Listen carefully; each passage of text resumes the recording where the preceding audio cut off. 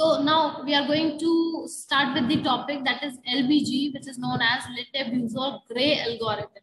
This is an algorithm which is used for vector quantization purpose. Now let's see if uh, I just give you a review back regarding the uh, vector quantization.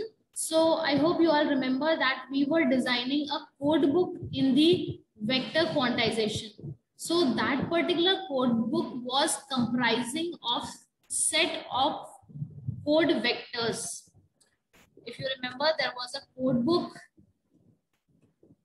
this particular code book of L dimensional or K dimensional, right?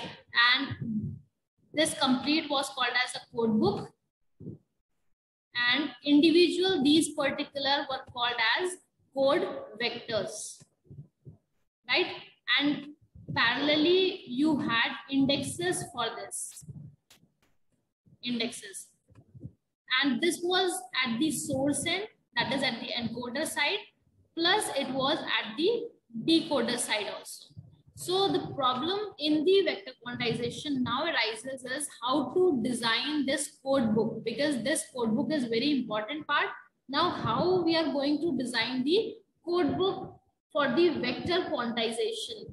So that particular purpose, for this purpose, we are using LBG algorithm that is Linde-Buzol-Gray algorithm. So that is why I have written one of the main and most important elements in the design of a vector quantizer, the generation of the code book. So this is what we are going to find in the LBG algorithm. While there are a number of ways of obtaining the vector quantizer code book, most of them are based on one particular approach, popularly known as LBG algorithm. So the concept of different algorithms which are applied for generation of codebook are many, but the main approach on which every algorithm is based is called as LBG. So we need to understand the LBG algorithm for understanding the other different approaches of generation generation of the codebook, right? So what we are doing in LBG is let's understand how we are doing and what we are doing. One of way one of the way of exploiting the structure in the source output is to place the quantizer output points where the source output are most likely congregate, right? So we are talking here about the block in the vectors, the block of vectors. So we have to design the codebook. The set of quantizer output points is called the code book. So whatever the quantizer output points we get, that particular set is called as the code book of the quantizer. The process of placing these output points is called as codebook design. So we have seen what is a codebook. It is a set of quantizer output points and the process of placing these output points is called as the codebook design. So this is what we have to do with the help of LBG. When we group the source output in two-dimensional vectors, we might be able to obtain a good codebook design by plotting a representative set of source output points. So if we are using or if we have a two-dimensional vector, then we can or we might obtain a good codebook design. How we can obtain? By plotting the representative set of source output points. Now, this particular approach of designing the codebook breaks down when we design higher dimensional vector quantizers. So uh, see with the help of visualization also we can find out this code book design but it is not possible when we are having the higher dimensional vector quantizers.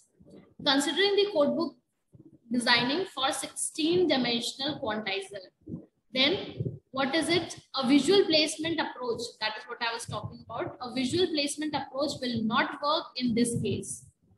It can work only for the lower dimensional vector quantizers, but not for the higher dimensional vector quantizers.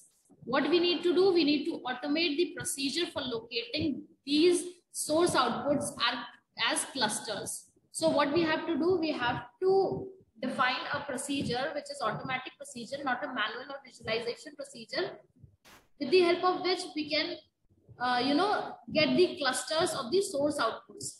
And for this particular clustering approach, we have a very important and very common technique and very good technique which is being used is called as k-means algorithm. This is a clustering algorithm.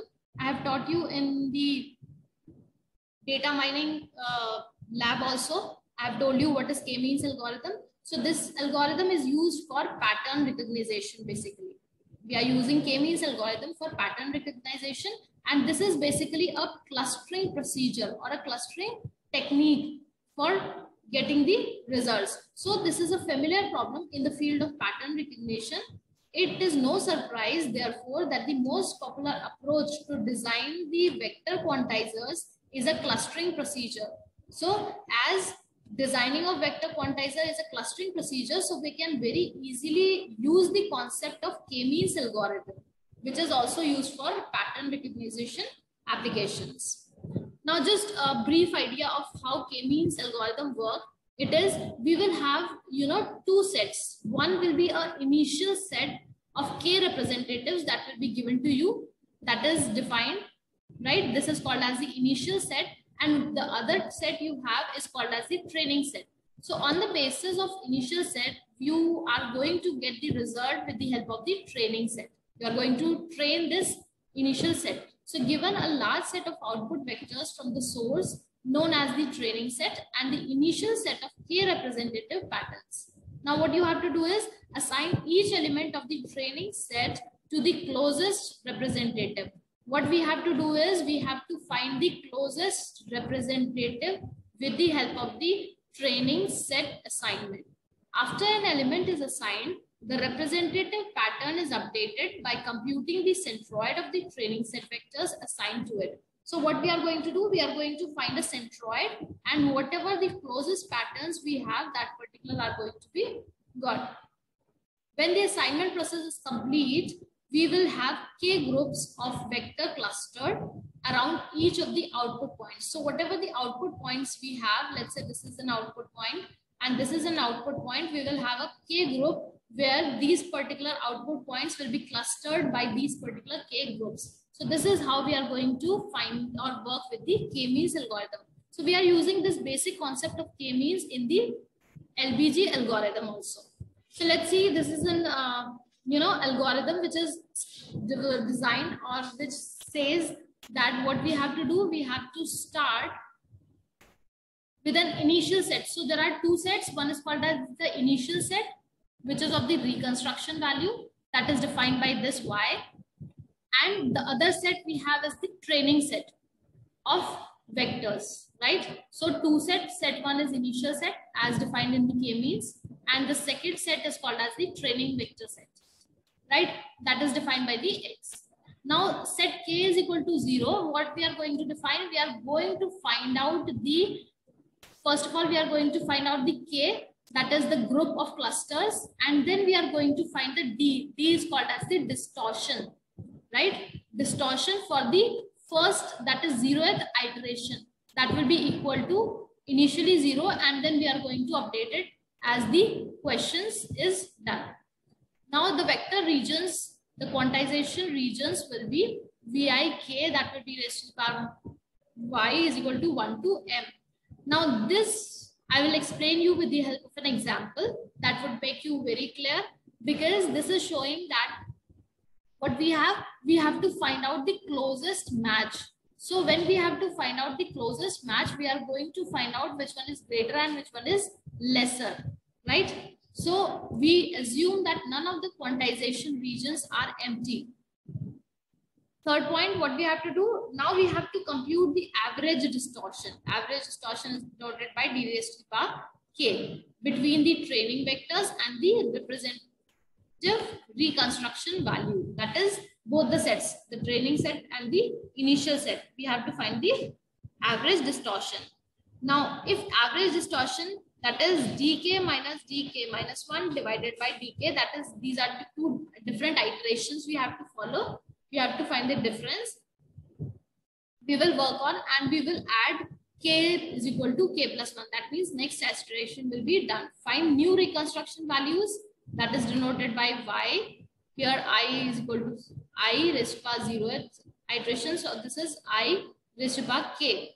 that are average value of the elements of each of the quantization regions. And after that, you have to go directly to the second step. That is again, you have to find out the closest match. So this iteration goes on till we get the same reconstructed values or the initial set. And once we get the same initial sets, what we are going to do, we are going to get the result regarding that right? So uh, I know this must not have been very clear to you. So we will deal with this particular algorithm within with the help of the example, right? Uh, hope this particular will give you a clear picture regarding why we are using LBG and what concept LBG uses, right? So uh, this is the LBG algorithm concept and